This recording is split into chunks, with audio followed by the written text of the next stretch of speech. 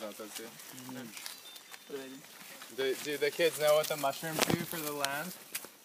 They No. break, they break down the, They get dogs Yeah. to step on them. They break down what?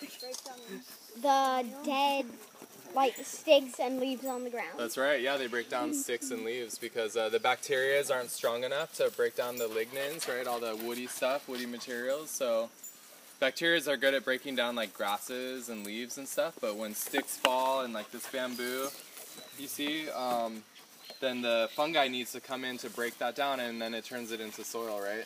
So fungi play an essential role in our ecosystem, and we can cultivate fungi uh, to have delicious food. And not only that, but a lot of mushrooms are really medicinal, and they're using them to get rid of, you know, cure cancers and other diseases. And so it's, it's a good thing to have on the farm.